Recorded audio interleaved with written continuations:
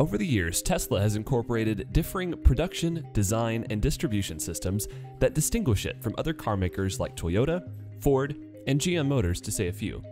And this is the reason behind its success.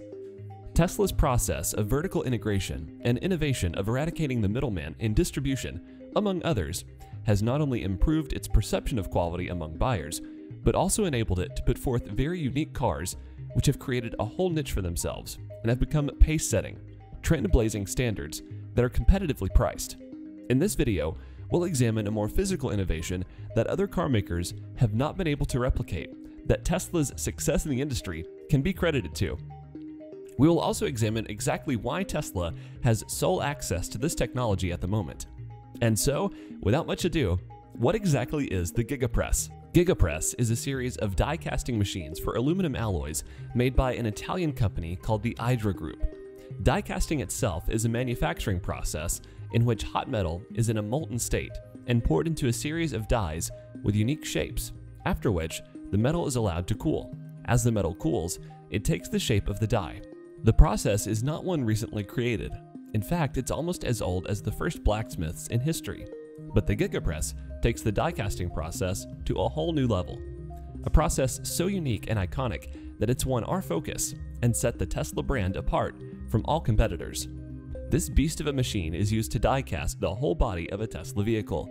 This type of production is unprecedented in the automotive industry, as rival manufacturers usually weld hundreds of smaller parts to each other to make the body of their vehicles.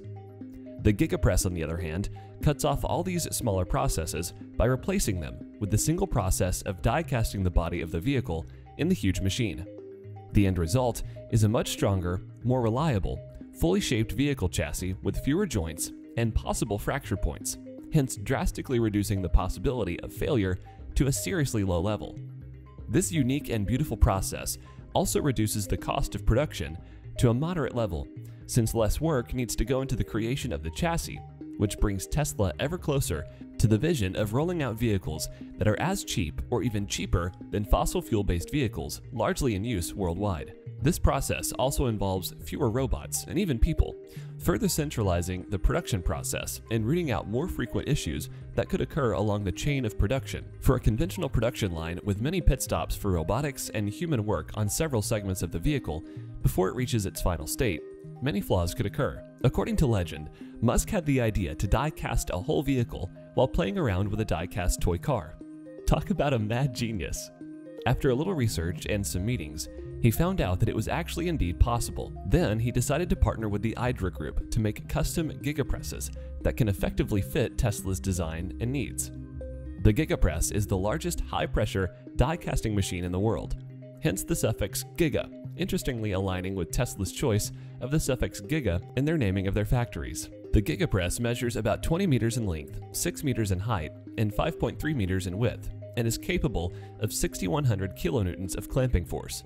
Each machine itself weighs between 410 to 430 tons. The customized gigapress that is supplied to Tesla for industrial use is known as the GL6100CS, and they started using it in late 2020 on the Tesla Model Y. The principle of the gigapress does not differ much from any other die casting process. That is, aluminum alloy is fed into the mold of the gigapress, and once the metal cools and solidifies, it takes the shape of the mold and is removed. Robots spray soybean oil inside the mold before the molten metal is forced in, making the removal process of the chassis a lot easier after the metal is solidified. Molten aluminum alloy is forced into the die at a speed of 10 meters per second. A single shot that weighs 80 kilograms is injected into the casting mold. Once the metal is solidified and taken out, the robots clean the casting mold and spray the soybean oil again to prepare for the next cycle. This whole process of making one mold takes about 80 to 90 seconds, and so the machine is able to make 40 to 45 castings per hour, and about 1,000 castings per day if the machine is to run for a full 24 hours.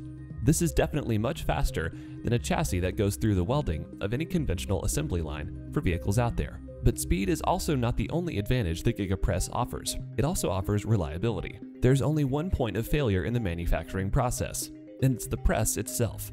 While in the conventional assembly line, there are several points of failure. If one robot in the assembly line goes down, the whole production process is put on hold until it's fixed. Another great benefit of the GigaPress manufacturing process is that there are fewer points to join together. For instance, the use of the GigaPress for the production of the Model 3 helped them eliminate 370 individual parts entirely. This makes production less complex and a lot more seamless. If the use of the GigaPress brings such a great advantage, why is it only Tesla that currently still uses it? Why don't other car makers get GigaPresses for themselves as well? To answer this is actually complicated.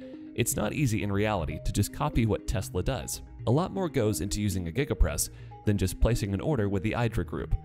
The key ingredient to this process is Tesla's top-notch alloy that they developed by themselves. This alloy is thanks to the premium materials engineering talent that comes from Musk's other company, SpaceX. To truly grasp the effectiveness of Tesla's aluminum alloys, you would need to understand a phenomenon called shrinkage cracks. What then is a shrinkage crack all about?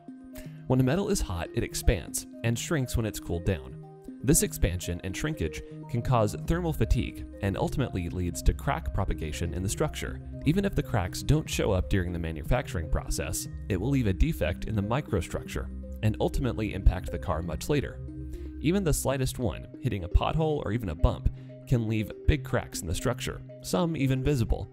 The special alloy that Musk produces does not have this problem, and other car makers sadly don't have access to metal of this quality. Wondering why? Well, obviously because they don't have NASA related privileges. Another reason why other automakers have not quickly copied this manufacturing system is that it involves a huge initial capital investment. It does not make much sense to scrap an already functioning production process for one that involves such an expensive initial capital investment, only to put up another system that also requires a huge capital investment, as would be the case for these car makers if they choose the gigapresses. Scrapping a billion dollar factory to save money on a single die casting procedure is not very logical. No matter how deep their pockets are, no profit oriented venture ultimately likes to record losses, not even at the expense of innovation. At least, not yet. Finally, the GigaPress itself is very hard to acquire. IDRA Group makes the machines only produce 12 GigaPresses per year, and Tesla, no surprise here, bought up all their stock last year. And so, even if other automakers decide to use die casting technology, they would not be able to get a gigapress that early. Although it is possible that this die casting production process may become popular and more widespread in the not so distant future of the automotive vehicle production and sales. At this moment, though, Tesla has the monopoly of this motivation, and quite heavily, I might add. This, of course, has resulted in such levels of achievement that beats out rival auto manufacturers in the industry. This is indeed the casting of an automobile industry dictator, with a glistening view, too. What do you think will break this well-casted iced fist in developing or buying the GigaPress innovation and effectively stand on equal terms with Tesla in the production of high-quality vehicle chassis? And do you think that there could be some disadvantage to the GigaPress that could give other vehicle manufacturers a fighting chance in this area? Leave your comments below.